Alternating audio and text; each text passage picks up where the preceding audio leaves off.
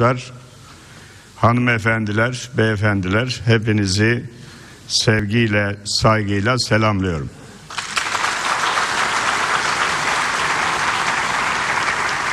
...2017-2018 akademik öğrenim yılınız hayırlı uğurlu olsun. Üniversitenin şahsıma tevdi ettiği Fahri Doktora ünvanından dolayı başta değerli rektör hocam ve senato üyeleri olmak üzere üniversitemizin bütün mensuplarına şükranlarımı sunuyorum.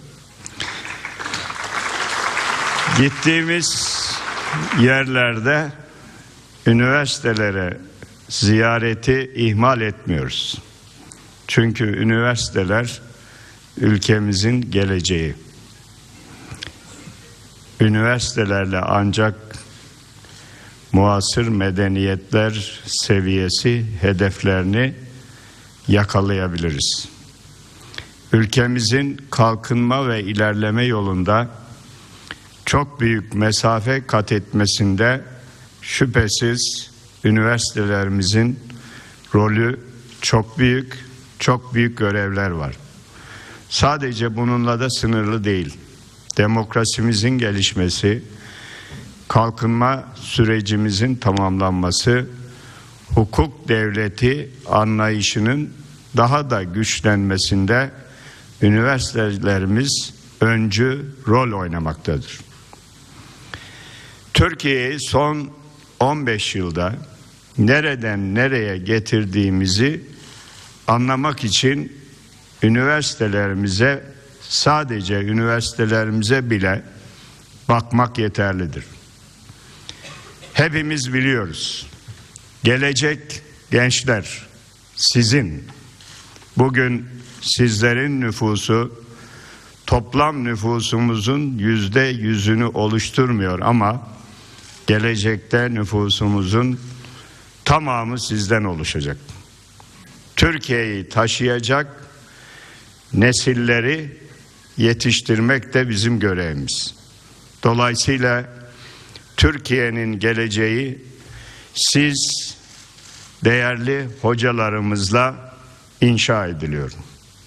Üniversite gençliğimiz Türkiye'nin gelecek hedeflerine cevap verecek, ufku açık, bilgili, donanımlı, özgüveni gelişmiş bir şekilde yetişen siz değerli gençlerimizin gayret ve çabalarıyla sağlanmış olacak. Bugüne ve yarınına ülkemizin yaptım yapmış olduğunuz değerli katkılar için sizlerin şahsında bütün üniversite akademik çevreyi ve bütün idareci kadroları tebrik ediyorum. Sevgili öğrenciler, sevgili gençler, sizlerin en donanımlı şekilde yetişmesi bizim en öncelikli amacımızdır. Üniversite yılları altın yıllardır. Benim size tavsiyem önünüzde birkaç seneniz var. Ondan sonra bu yılları, bu güzel zamanları bulamazsınız. Biliyorum hepiniz düşünüyorsunuz. Bir an önce şu üniversiteyi bitirsek de işimize gücümüze baksak. Buradayken bu duyguya hakimsiniz. Ama unutmayın mezun olduktan sonra bu ortamı çok özleyeceksiniz. Onun için sizin için altın değerinde fırsat olan bu zamanı en iyi şekilde değerlendirmelisiniz. Sizin gibi üniversite yıllarında bulunan bir abiniz olarak şunu yaşadığım şu tecrübeyi burada paylaşmak istiyorum. Biz üniversitede daha doğrusu ortaokulda, lisede, üniversitede, yüksek lisansta hep yabancı dil okuduk. Mezun olduk, hayata atıldık. Baktık ki hiçbir şey bilmiyoruz. O kadar sene dil okumamıza rağmen uygulamaya geçtiğimizde bir şey öğrenmediğimizi fark ettik. Ve bunun meslek hayatında ne kadar büyük bir eksiklik olduğunu hep gördük, hep yaşadık. O yüzden de 40 yaşından sonra evli, çocuk sahibi bir adam olarak yabancı memleketlere gidip lisan öğrenmek zorunda kaldık. Benim size önerim bu yılları değerlendirin. Bu yıllar sizin lisan işini, dil işini halletmeniz için çok ama çok önemli bir dönemdir. Mezun olduğunuzda artık yabancı dil problemi kalmamış, hayata hazırlanmış gençler olarak yetişmenizi canı gönülden arzu ediyoruz. Dünya artık küresel bir köy haline geldi. Sadece Türkiye'nin meseleleri değil, bugün internet, bilişim teknolojileri ve yapay zeka gibi yeni yeni hayatımıza giren alanlar bizi küresel birer aktör haline getiriyor. Bu bakımdan yarışta geride kalmamak ve başa güreşen söz sahibi milletler arasında yerimizi almak için zamanı çok iyi değerlendirmemiz lazım. Şu anda aslında zaman paranın önüne geçmiştir. Hani vakit nakittir deriz ya. Bu gerçekten doğru. Parayı kaybedersiniz tekrar bulabilirsiniz ama zamanı kaybettiğinizde geri getirme şansınız yok. Onun için yapacağımız her işte zamanı en etkin şekilde kullanıp kendimizi tam donanımlı halde geleceğe hazırlamamız lazım. Gençlik yılları, öğrencilik psikolojisi, aman bugün olmazsa yarın olur, yarın olmazsa o bir gün olur gibi düşünceler doğal olarak hakim olur. Hepimizde bu var. Ama unutmayın zaman su gibi akıyor, çok çabuk geçiyor. Evet, üniversiteler sadece eğitim ve öğretim aldığımız yerler değil. İşte hocamız söyledi mühendislik fakültesi benim öğrencilik yıllarımda daha üniversite kurulmamıştı. En azından ben üniversiteye başladığımda mühendislik akademisi vardı. Şimdi bakıyoruz geriye fakülteleriyle, yüksek okullarıyla, enstitüleriyle 50'den fazla birimi var. 45 binden fazla öğrencisi var. İdari personel, akademik personel 3500'den fazla bir kadrosu var. Dolayısıyla başlı başına bir şehir. Aslında Elazığ'ın gelişmesini, kalkınmasını da sürükleyen en önemli varlığımız üniversitemiz. Son 15 yıla bakalım. Son 15 yıl Türkiye'nin her alanda değişimi yaşadığı yıllardır. Çok uzağa gitmeyelim gençler.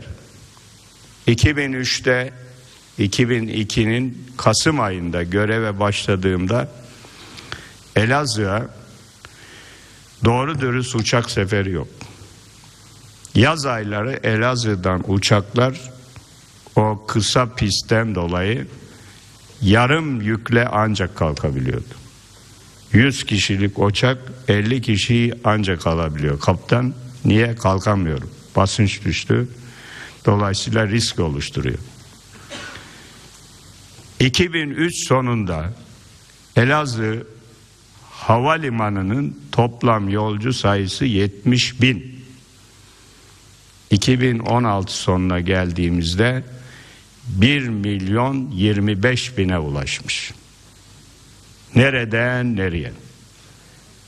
Yani Türkiye'deki gelişimi, değişimi anlamak için sadece Elazığ'daki havacılığın gelişimini bakmak bile yeterli. Eğer görmek isterseniz başka delile ihtiyaç yok. Ama Elazığ'daki işler bunlarla sınırlı değil ki.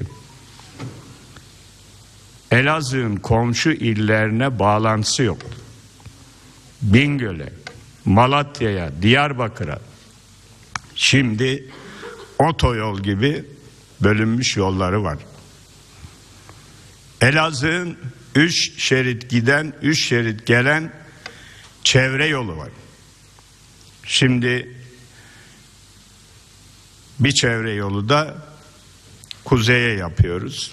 Dolayısıyla artık Elazığ dünyanın en gelişmiş şehirlerindeki gibi dış çevre yoluyla kuşatılmış ve geleceğini inşa etmiş bir şehir haline geliyor. Sevgili gençler 15 yıl içinde bir Türkiye'yi üç kat büyüttük. 230 milyar dolardan 863 milyar dolar milli gelir seviyesine çıkardık. Zaman zaman aklınıza geliyordur ya sürekli bunları görüyoruz. 15 yıldır artık yani yüzlerine alıştık. Başka bir değişiklik olsa iyi olur diye düşündüğünüz olabilir. Biz değişime karşı değiliz. Daha iyi yapacak varsa buyursun gelsin. Başımız gözümüz üstünde yeri var. Bugüne kadar hep ülkemizin hem içeride hem dışarıda itibarını yükseltmek, insanımızın gelecek umudunu, hedefini, özlemini gerçeğe dönüştürmek için çalıştık, çabaladık. Taş üstüne taş koyduk, laf üstüne laf koymadık.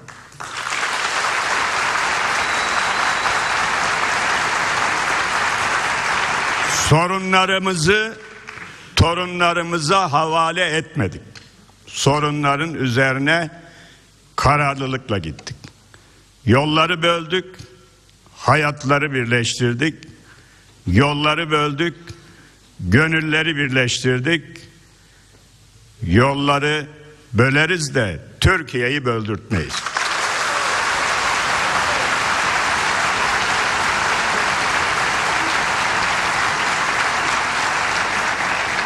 Etrafımızda bir şer çemberi oluşturulmaya gayret ediliyor. Bu oyun yeni değil. Gençler, bu oyunun 100 yıldan fazla geçmişi var. Ta 1860'lara gidiyor. O günden bugüne bu bölgede yarım kalmış hesaplar var. O gün Osmanlı ile o hesabı görmeye çalıştılar. Şimdi de Türkiye Cumhuriyeti ile bu hesabı görmeye çalışıyorlar. Ama şunu herkes bilsin. Bu aziz millet 15 Temmuz'da herkese bilen bilmeyen yedi düvele Türk milletinin nasıl bir millet olduğunu göstermiştir. Bayrağı indirmemiş, ezanları dindirmemiştir. Onun için değerli konuklar ülkemizin geleceği her bakımdan parlaktır. Yarınımız bugünümüzden çok daha güzel olacak. Hiç endişeniz olmasın. Biz sizlere her yönüyle gelişmiş, sorunlarını çözmüş bir ülke emanet etmek için başta Cumhurbaşkanımız olmak üzere ekip olarak çalışıyoruz, gayret ediyoruz. Milletvekillerimiz Elazığ'da aynı gayretin içinde. Belediye başkanımız, belediye başkanlarımız aynı gayretin içinde. Üniversitemiz. Bakın Türkiye'de ilk 20 içinde yer almak az bir şey değil. Ama bununla yetinmeyeceğiz. Uluslararası alanda da başarıdan bu üniversitenin, Fırat Üniversitesi'nin bahsedilmesi, söz edilmesi için daha çok çalışacağız. Değerli hocalarım, sevgili genç kardeşlerim, üniversitelerle ilgili son 15 yılda neler oldu? Bir bakalım. Türkiye'nin 81 ili var, 76 üniversitesi vardı. Ha her ilde de bir üniversite değil. Aslında her ile koyduğumuz zaman 50 ilinde ya var ya yok. Çünkü bazı büyük illerde çok üniversite var, birçoğunda da yok. Bugün her ilimizde üniversite var. 76'dan 185'e çıkmışız. Fakülte sayısı 15 yılda 3'e katlamış. 1665 bütün üniversitelerde fakültemiz var. Öğrenci sayımız 7 milyonu aşmış. 7 milyon demek Birleşmiş Milletler'e üye olan 60 ülkenin nüfusundan fazla. Okullara bilgi iletişimle ilgili her türlü altyapıyı yapmışız. Sadece yol yapmadık. Akıl yolu da yaptık. Geniş band interneti de en ücra köşeye götürdük. Doğuda ne varsa batıda da o var. İletişimde sayısal uçurumu ortadan kaldırdık. Şu anda okullarımızda etkileşimli tahtalar var. İnternet bağlantısı var.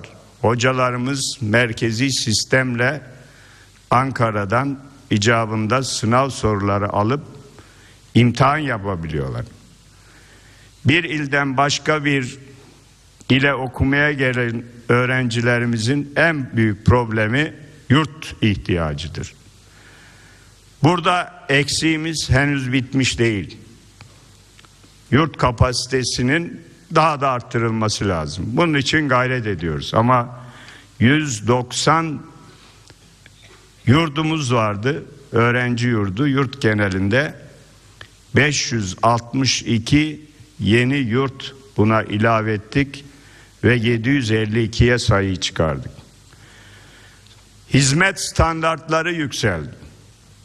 Koğuş sistemi vardı. Şimdi yurtlarımızda otel odaları gibi üç öğrencinin bir arada kalacağı bir standartta yurtlarımız var.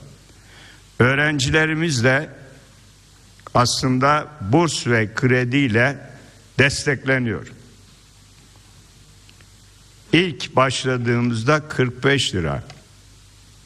2003'te öğrenci başına 45 lira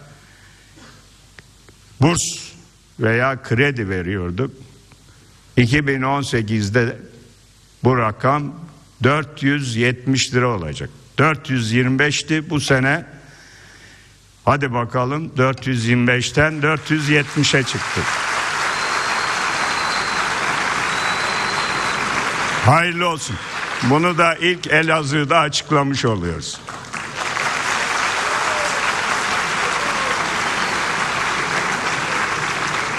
Bunlar önemli gelişmeler. Ancak yeterli mi? yetmez. Şimdi Türkiye'nin Türkiye dünyanın 17. büyük ekonomisi itibariyle ülkesi. Ama hedefimiz ne? Hedefimiz Türkiye'yi parmakla gösterilen şu iki elin parmaklarıyla gösterilen ülkeler arasına sokmak. Aslında satın alma gücü paritesine göre 13.lüğe yükseldik. Daha çok gayredeceğiz. Avrupa'da son 15 yılda 3 tane ülkeyi geride bıraktık. Hollanda'yı, İspanya'yı satın alma paritesine göre İsveç'i geride bıraktık. Ve Avrupa'nın 5. ülkesi konumuna geldik. Türkiye'nin potansiyeli büyük, imkanları büyük. Çünkü Türkiye'nin geçmişi var. Tarihi derinliği var. Medeniyet birikimi var. Yıllardan beri dünyanın batısıyla doğusunu buluşturmuş, çatışmaları kardeşliğe dönüştürmüş bir ulustan, bir milletten bahsediyoruz. Bakın Irak'ta bir takım gelişmeler oldu. Kuzey Irak bölgesel Kürt yönetimi bir referandum kararı aldı. Dedi ki yapmayın, etmeyin. Kendi halkınıza karşı yanlış yapıyorsunuz. Onları mağdur edeceksiniz. Kafanıza göre bu kararları alırsanız sonuçlarından hadi siz bedel ödeseniz neyse ama oradaki Kürtlere, Türkmenlere, Araplara, Ezidilere, Asurilere her türlü etnik kimliğe bu bedeli ödetmeye hakkınız yok. Fakat dinleyen mi oldu? Şimdi ne oldu? Başladıkları yere geldiler. Bütün kazanımlarını kaybettiler. Tabi şartlar ne olursa olsun bu coğrafyada biz biriz, beraberiz. Hiçbir zaman burada olup bitenden orada yaşayan kardeşlerimize bir zarar gelmesini istemeyiz. Bizim derdimiz burada birliği, beraberliği, kardeşliği bozmaya çalışan dış aktörlerdedir.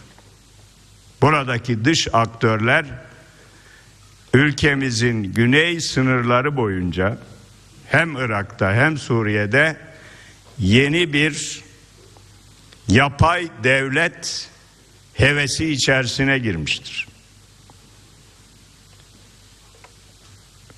Ancak şunu herkes bilmelidir ki bu aziz millet buradaki şer ittifakına asla müsamaha göstermeyecektir. Bölgedeki statü değişikliği, Irak'ın, Suriye'nin toprak bütünlüğü, üzerine oynanan oyunlar doğrudan Türkiye'yi ilgilendirir. Hiç kimse bu Türkiye'nin işidir diyemez. Tarihsel geçmişimize baktığımızda bu sınırların hangi şartlarda oluştuğunu hepimiz biliyoruz. Sınırın o tarafıyla bu taraf arasında bir fark yok. Yapay bir çizgi, akrabalık her şey var. Dolayısıyla bu yapıyı bozmaya çalışanlar, burada bir şer odağı oluşturmaya çalışanlar eninde sonunda hüsrana uğrayacak. Bu Türkiye'nin milli güvenlik meselesi olmaya devam edecek. Bizim amacımız bölgede barışın, huzurun, kardeşliğin yerleşmesidir. Buradaki olacak her türlü olumsuzluğun faturasını yükünü biz karşılıyoruz. Hiçbir katkısı olmayan, sorun üretmekten başka hiçbir rolü olmayan ülkelerin burada racon kesmesi asla ve asla kabul edilir bir şey değildir. Onun için değerli katılımcılar, sevgili gençler aman oyuna gelmeyelim. Birliğimizi, beraberliğimizi, kardeşliğimizi gözümüz gibi koruyalım. Buna ihtiyacımız var. Biz bir olursak, iri olursak, diri olursak, birlikte Türkiye olursak, evelallah hiç kimse bize bir şey yapamaz.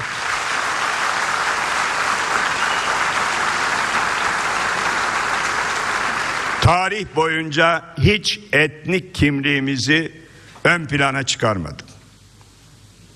AK Parti olarak ilk günde dedik ki bölgesel milliyetçilik yok. Dini, mezhepsel milliyetçilik yok ve etnik milliyetçilik yok. Hala bu prensiplerimize sadık kalıyoruz. Bizi bağlayan, birleştiren inancımız var, dinimiz var, yüce İslam var.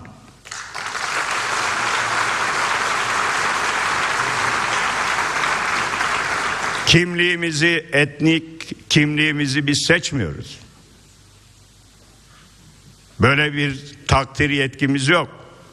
O halde bize bahşedilen özelliklerimizi ayrıştırmak için değil, birleştirmek için kullanmalıyız.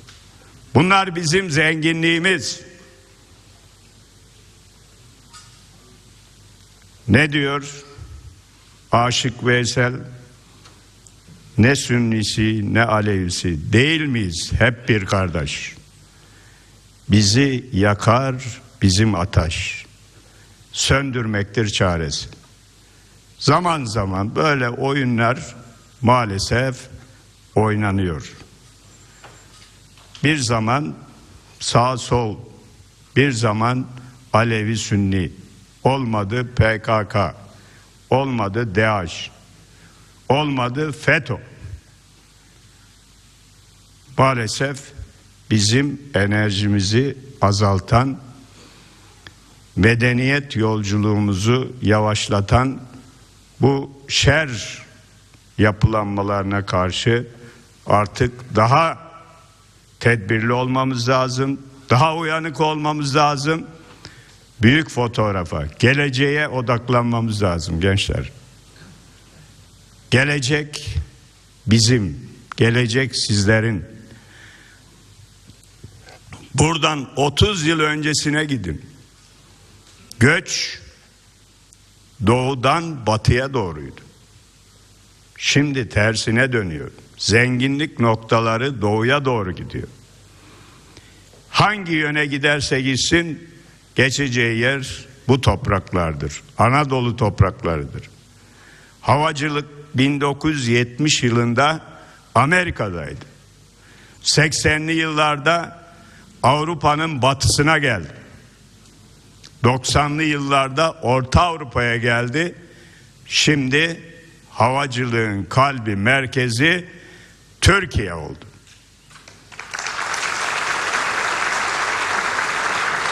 Bunu nereden söylüyorum? Türkiye 2003 yılında dünya havacılık pastasından yüzde yarımdan az pay alıyordu. 0.45 şimdi 2'nin üzerine çıktı. Başka deyişle 30 milyon iç dış hat yolcudan çıktı 200 milyona. 15 sene içinde. Onun için dünyanın en büyük havalimanını biz yapıyoruz. 200 milyon yolcu kapasiteli havalimanını yapıyoruz. E tabi bunu yapınca bazılarının keyfi kaçıyor. Kıskançlık başlıyor. Ne yapalım da bu işleri yavaşlatalım, engelleyelim. Gezi olayları. Gezi olaylarının arka planında ne var biliyor musunuz?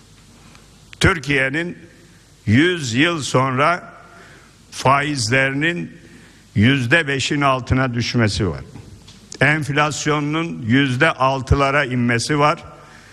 IMF'ye olan borcunu ödemiş olması var. Dahası dünyanın en büyük havalimanının ihalesini yapmış olması, dünyanın en geniş köprüsünün Yavuz Sultan Selim'i inşa etmeye başlamış olması, Marmara'yı, Avrasya'yı Osman Gazi köprülerinin yapmış olması. Hatırlayın o günleri. O günlerde toplumsal olaylar Latin Amerika ülkelerinde de var. Türkiye'de de aynı anda. Meksika'da, Venezuela'da, efendim Arjantin'de, Brezilya'da.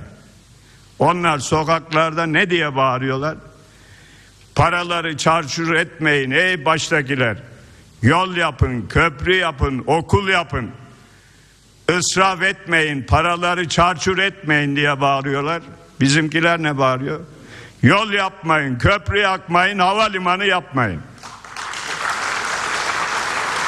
Maksat başka. Yeşil, çevre, işin bahanesi. Amaç Türkiye'nin medeniyet yolculuğunda tökezlemesi. Bakın gençler 2008'de küresel bir kriz oldu. Hala devam ediyor. Dünya küçüldü. Ekonomik olarak küçüldü. 80 trilyon dolarlık dünyanın serveti 40 trilyona geriledi. Şu anda eski günlere gelebilmiş değiliz. Hala dünyadaki büyüme oranları yüzde üçte seyrediyor. Türkiye elhamdülillah yüzde beş. Son 12 yıl boyunca ortalama büyümemiz yüzde beş nokta altı. Dünyanın iki katı. Peki neye rağmen yaşadığımız olaylara bakın. Küresel kriz var. Darbe girişimleri var. Cumhurbaşkanlığı seçtirmemek için 367 icadı var. Gezi olayları var. 17-25 darbe kalkışması var. 15 Temmuz var. Küresel kriz var. Bütün bunlara rağmen Türkiye büyümeye devam ediyor. İşte bu Türkiye'nin farkını ortaya koyuyor. Bu olayların onda biriyle karşı karşıya başka bir ülke kalmış olsaydı yerle bir olurdu. Bir daha belini doğrultamazdı. Evvel Allah hem bu odaklarla, darbelerle, kumpaslarla, engellerle mücadele ettik hem de ülkemizin kalkınması, gelişmesi için lazım olan hizmetleri yaparak bugünlere geldik. Tabir caizse şeytan taşlamadan arta kalan zamanlarda ülkeyi imar etmek için, kalkındırmak için var gücümüzle çalıştık. Evet gençler bu biraz yani fari doktora işinden derse döndü. Kusura bakmayın. Fazla zamanınızı aldık. Onun için isterseniz burada e, noktayı koyalım. Ama bundan önce iki hususa değinmek istiyorum. Madem üniversitedeyiz, eğitimin merkezindeyiz. Sizi ilgilendiren üniversite sınavları. Sizi ilgilendirmiyor da sizin arkanızdan gelecekleri ilgilendiriyor. Yani önemli sayıda 1 milyonun üzerinde gencimizi daha doğrusu eski birikenlerle birlikte 3,5 milyon gencimizi ilgilendiren bir konu. Üniversite giriş sınavlarında bir değişikliğe gidiliyor. Aslında bu biraz sadeleştirme. Yani iki kademeli seçimden yine iki kademeli ama aynı günde yapılacak bir sisteme dönüşülüyor. Yüksek Öğretim Kurumları Sınavı adı altında iki sabah ve öğle oturumu olarak iki oturumda gerçekleşecek bir sınavdan bahsediyoruz. Böylece öğrencilerimiz 3 ay 4 ay boyunca bu üniversite giriş telaşıyla o stresle yaşamasın istiyoruz. Düzenleme bunu hedefliyor. Esasında üniversitelerde geldiğimiz nokta şu. Bugün liselerimizin mezun ettiği öğrenci sayısıyla üniversitelerimizin kabul ettiği öğrenci sayısı hemen hemen aynı. Çok az fark var. Başa baş. Diyebilirsiniz ki sınava ne gerek var? Madem her mezun olana üniversitede bir yer var, o halde niye sınavı? Ama geçmişten gelen 2 milyon 400 bin öğrencimiz var. Bir. ikincisi de tabi hepsi Elazığ Fırat Üniversitesi'ne girmek istiyor diyelim. En güzel üniversite. Bu sefer ne oluyor? Orada bir sıkışma oluyor. O yüzden de tabii bir seçici sisteme ihtiyaç var. Bunu belirleyecek olan da ortaokuldan, liseden 12 yıllık temel eğitimden aldığınız bilgi, beceri, birikim artı sınav. Bunlarla nereyi hak ediyorsanız oraya girmiş olacaksınız. Dolayısıyla önümüzdeki yıllarda üniversite girişin bu kadar stresli olmasını gerektirecek bir durum yok. Gittikçe rahatlıyor. Yapmanız gereken lisede, ortaokulda ve temel öğretimde kafanızı şekillendirmek, hangi alana gideceğinize karar vermek. Onun için de şimdi lise geçiş sınavı TEOK bunu da değiştiriyoruz. Yani değişim değişim de her şeyi niye değiştiriyorsunuz diye sora, sorabilirsiniz. Değişim eğer daha iyisini getirmeye hizmet ediyorsa durmadan değişim lazım. Ama mevcudu daha da geriye düşürüyorsa orada değişime ihtiyaç yok. Hem üniversitede hem de lise geçişteki değişimin amacı, TEOG'un amacı öğrencilerin öğrenim hayatını bir sınavın stresine sıkıştırmak değil. Beşinci sınıftan başlayarak 5, 6, 7, 8 ortaokuldaki elde ettiği beceri, başarı, bilgilerin sonucu hak ettiği yere gitmesi, istediği okula gitmesi. Detayları var. Burada zamanınızı almayacağım. Veliler, vatandaşlarımız rahat olsun. Hiçbir şekilde öğrencilerimizin aleyhine olacak bir düzenleme asla olmayacak.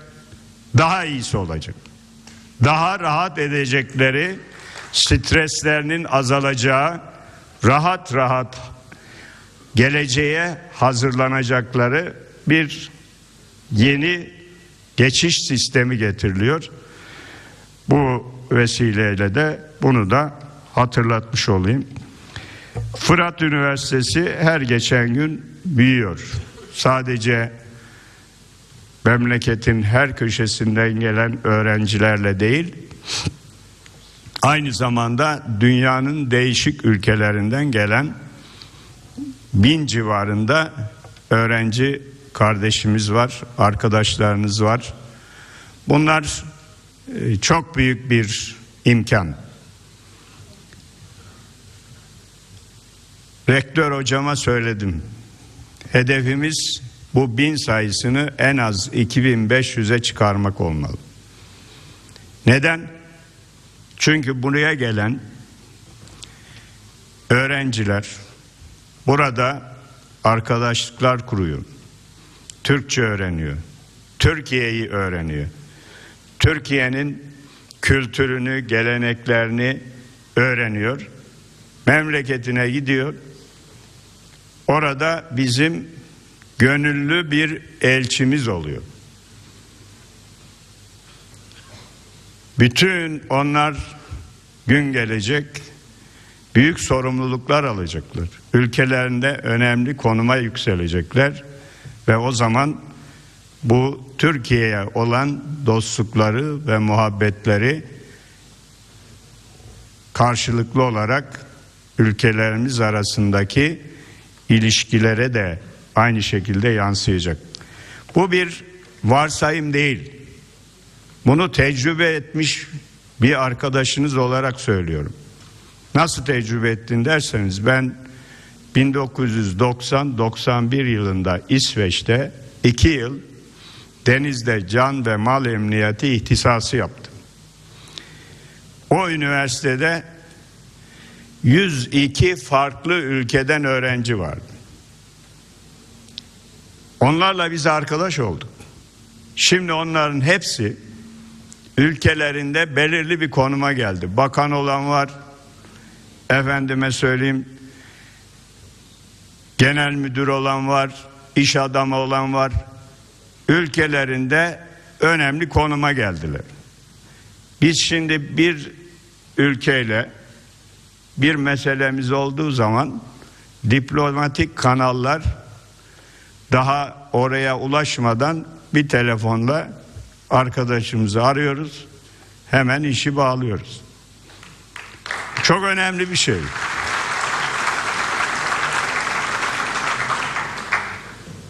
Benle beraber giden arkadaşlarımızdan şu anda ben de işte hükümette görevliyim. İsmet Yılmaz da benimle beraberdi. O da Milli Eğitim Bakanı olarak görevli. Yani iki arkadaş okuldan buraya da geldik. Burada da beraber çalışıyoruz. evet.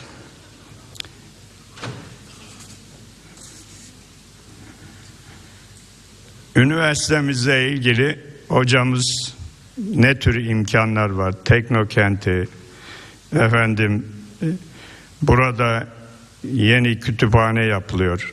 2019'dan bitecek hocam. Onu biraz daha öne çekelim. Para istiyorsun. Anladım. Tamam. Üniversite kütüphaneyi 24 saat açık tutacaksın değil mi? Bak söz veriyor gençler. O halde para gönderelim.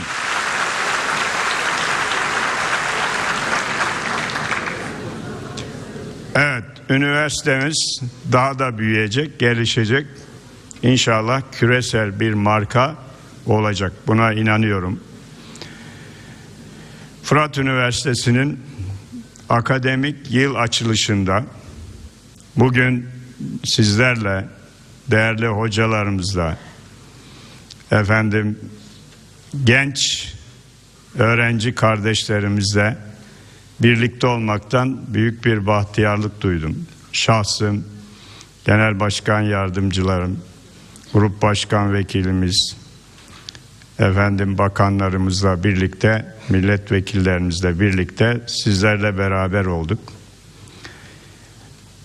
Bu arada şahsıma tevdi ettiğiniz Fahri Doktora ünvan içinde ayrıca teşekkür ediyorum. 21. Ol, oldu. Maaşıma bir fark getirmiyor ama en azından bir manevi tarafı var. Dolayısıyla e, bu düşüncenizden dolayı teşekkür ediyorum. Muallim Naci'nin meşhur sözü var. Marifet iltifada tabidir. Alıcısı olmayan meta zayidir. Yani alıcısı olmayan malın kıymeti yoktur. Demek ki bu taltif, bu iltifat bizim daha fazla sorumluluğumuzu arttırıyor. Daha çok memleket için, millet için hizmet yapma gayretimizi arttırıyor. Bunun için de teşekkür ediyorum. Yeni akademik yılın gençlerimize, kardeşlerimize hayırlı uğurlu olmasını diliyorum. Başarılar getirmesini diliyorum. Bütün öğrencilerimize, hocalarımıza, bütün üniversite camiasına başarılı bir öğretim, eğitim yılı temenni ediyor. Hepinize saygılar, sevgiler sunuyorum. Sağ olun, var olun. Sayın Başbakanımıza konuşmalarından dolayı çok teşekkür